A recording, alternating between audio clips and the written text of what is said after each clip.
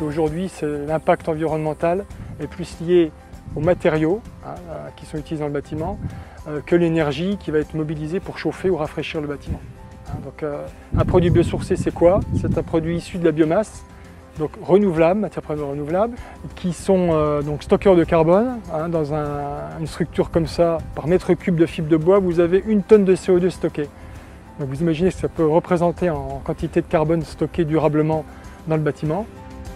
Donc le produit qui mis en œuvre sur ce chantier est le panneau Power Block, un panneau isolant à base de fibre de bois qui est appliqué directement sur maçonnerie avec un chevillage mécanique.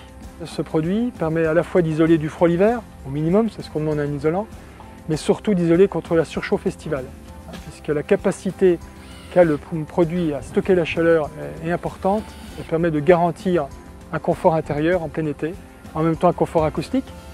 Et puis aussi, ce qui est important, c'est que ça laisse euh, respirer les murs et les parois.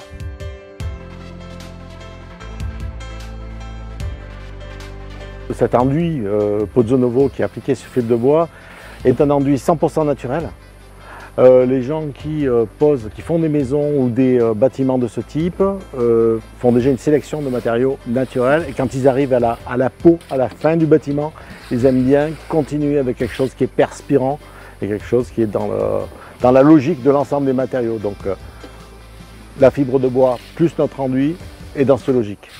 Les matières premières viennent de Rhône-Alpes, là où la région était installée Pozzo Novo. Et on en est fiers, puisqu'il n'y a pas autant de produits que ça qui sont faits en France euh, à ce jour. Nous sommes producteurs de choux en pâte, de vrais choux en pâte, pas de choux en poudre réhydraté. Et la qualité de ce choux en pâte fait que on va pouvoir obtenir un enduit mince, hein, puisque la totalité de l'enduit fait environ 5 mm, un enduit mince qui aura une résistance exceptionnelle pour l'épaisseur. L'enduit pose nouveau, l'intérêt c'est qu'il n'a pas d'adjuvantation chimique. Les seules adjuventations qu'il a, ce sont des adjuventations naturelles, type savon noir, méthylcellulose, du quartz, et euh, on arrive à retrouver des teintes pastel, euh, très chaleureuses,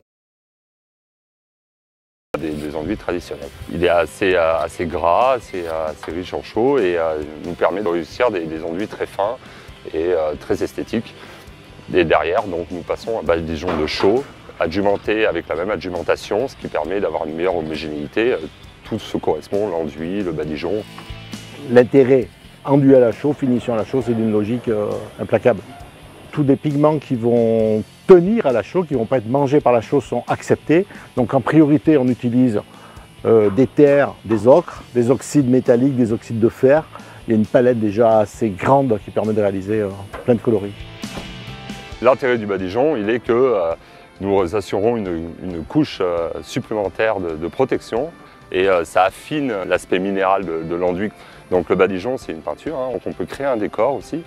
On peut retrouver des, techniques anciennes avec le badigeon euh, et reformuler les anciens décors ou, avoir les teintes existantes d'un bâtiment ancien. Donc on peut intervenir aussi sur du patrimoine ou, tout simplement chez un particulier qui achèterait une maison en pierre parce que nous pouvons retrouver pour les bâtiments de France, tous les bâtiments classés, les anciens décors et les recalquer sur une nouvelle façade en IT. La valeur ajoutée, c'est une maîtrise de l'application. Et donc l'ensemble apporte un package, je dirais, de mise en œuvre qu'on peut proposer aux différents